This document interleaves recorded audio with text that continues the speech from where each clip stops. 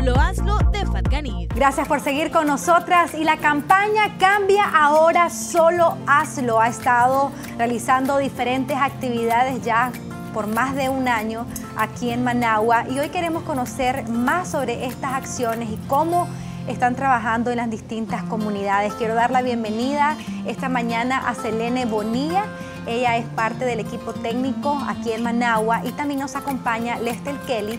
Ella es asistente territorial de este proyecto aquí en Managua. Bienvenidas a ambas. Bueno, Lester, ya, hemos compartido con vos. Nos ha venido a contar poco a poco todas las cosas que han estado haciendo. Sin embargo, quisiéramos conocer eh, un poquito más, en más, más detalle.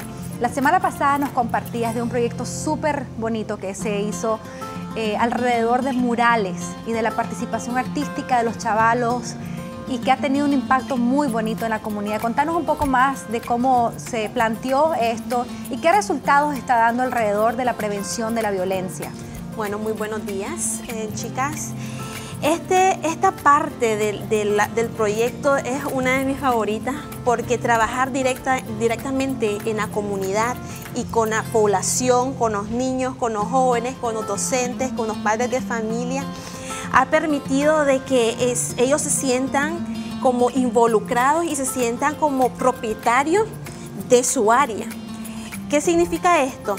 Que ellos no, se sienten excluidos y no, dejan de que aumente la violencia, de que los chavalos estén en consumiendo droga, que estén ingiriendo licores, sino que también ellos están buscando alternativas para que los, para que los jóvenes puedan tener eh, una forma de vida saludable. Eh, además de eso, con los murales que hemos estado trabajando en, los barrios, eh, ellos fueron los, los, que diseñaron el mural. Ellos fueron que dijeron de qué manera querían de que el mural me diera un mensaje, ¿Por qué? Porque cada vez que yo pase por esa calle y yo, pues, yo tenga que recordarme, ay, ¿será que, que eh, yo soy parte de, ese mural o, yo soy tal vez ese dibujito que está en la calle tirado o que soy yo esa persona que está con, con droga? Entonces, de esa manera, la población les, les llamó bastante la atención porque reflejar imágenes, en reflejar tal vez un paisaje de cómo ellos están interesados en tener su comunidad a partir de este espacio, los jóvenes, eh, los niños, los padres de familia y los docentes miraron la necesidad también de, abrir espacio.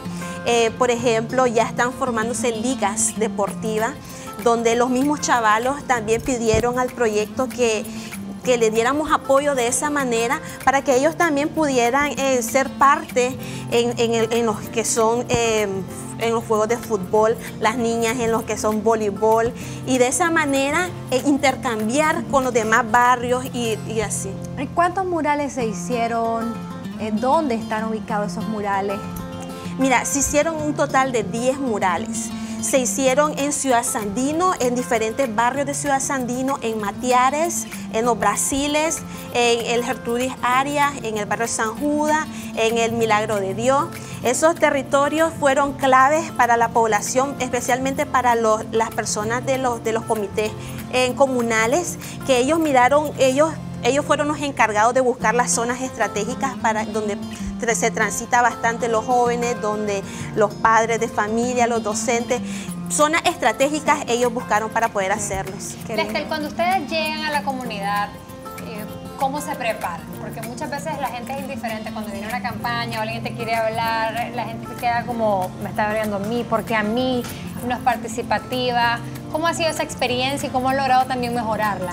Sí, fíjate de que nosotros trabajamos directamente con los líderes, identificamos líderes dentro de los territorios para que ellos nos puedan apoyar, porque ellos ya conocen a su gente, entonces desde ese espacio, entonces ellos nos abren eh, las puertas y nosotros de, igual manera los capacitamos, porque tampoco queremos estar eh, utilizando a las personas, como dirían, de una forma que, no, es, no, es, no es adecuada, sino sino que también eh, darle estrategias a esas personas, a los líderes de las comunidades, para que también puedan trabajar directamente con la comunidad. Buenísimo. Bueno, y en tu caso, Selene, vos estás trabajando más con los chavalos desde las escuelas, desde los colegios. Hace poco terminaron ya los debates estudiantiles que nos compartían Eh, fue súper interesante ver cómo entre ellos proponían los temas y debatían, etcétera. ¿Qué más eh, están haciendo con estos jóvenes? Así es, de cara a viendo de que dentro de la comunidad habían propuesto temas que, en los que se iba a reflejar eh, la problemática que hay dentro de los, de los barrios, ¿verdad? En los murales, también los y las chavalas dentro de los colegios propusieron desde un inicio de año qué temas íbamos a debatir y a lo largo de estos nueve meses ellos han venido eh, debatiendo temas como explotación sexual comercial, violencia en las calles, abuso de drogas, eh, violencia hacia las mujeres y todos estos temas de prevención de violencia ellos los, han venido debatiendo eh, en, este, en, este año, ¿verdad?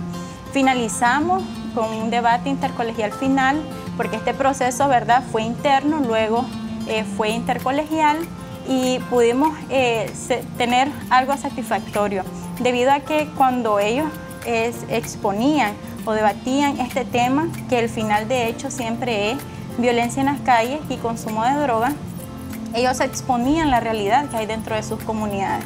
Ellos ven y ellos saben qué y qué hacer y qué no. Y dentro de este debate ellos daban consejos de, qué hacer cuando miramos casos de violencia, cuando miramos de que tal vez nuestros compañeros de clase estaban en, situación de riesgo, cuando los padres a veces eran los causantes de que estos muchachos no estuvieran dentro de sus casas en altas horas de la noche.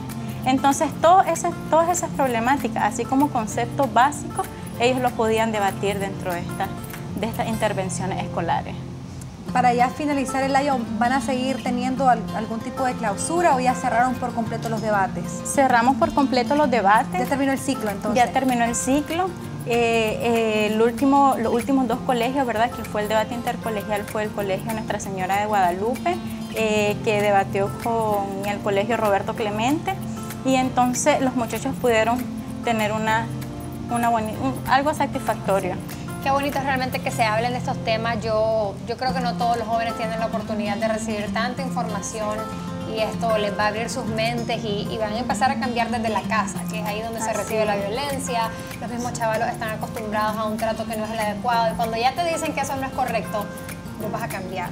Y por lo menos alguien te lo está diciendo. Así es, realmente ellos fueron preparados desde los docentes que recibieron talleres primeramente, también ellos recibieron talleres para poder apoderarse de estos temas que ellos también enfrentan dentro de sus comunidades. Ahora hay más líderes y lideresas hablando de la prevención de violencia, que es tan positivo en nuestro país. Gracias muchachas por habernos acompañado. Así es, gracias. Nosotros seguimos diciendo que esta situación de la violencia se va a cambiar cuando tomemos la decisión y la conciencia de hacerlo. ¿Cambia ahora? Solo hazlo. Es tan sencillo como eso y podemos ser agentes de cambio en nuestras comunidades, en nuestros hogares, sobre todas las cosas. Vos Desde linda. Empezar. Vos compartiste una frase linda de Madre Teresa alrededor de la ah, familia. si querés la paz, anda a tu casa y abraza a tu familia. Eso eh, me parece espectacular. no, hay que permitir desperdiciar la vida y desperdiciar nuestra vida en familia. Tenemos que estar conscientes y claros ¿no? de eso y depende de nosotros no, tenemos que responder con violencia y, hay que tratar también incluso a las personas violentas llevarlas por una manera que entiendan que no es la forma correcta. Así es, y bueno, la prevención también del uso de drogas es muy importante en nuestros jóvenes, el, consumo de alcohol. Eh, nos daban una cifra hace poco, ¿no? que, que son más jóvenes, o sea, los que están consumiendo este tipo de sustancias son cada vez más jóvenes. Entonces, hagamos algo desde nuestros hogares para detener esto que está acabando con nuestra juventud y por supuesto, esto es de hacerlo ahora. Hoy mismo podemos tomar la decisión de cambiar y solamente hay que hacerlo. Cambia ahora, solo haz. Muchísimas gracias por habernos acompañado esta mañana. Nosotros vamos a ir a una pausa comercial y ya volvemos.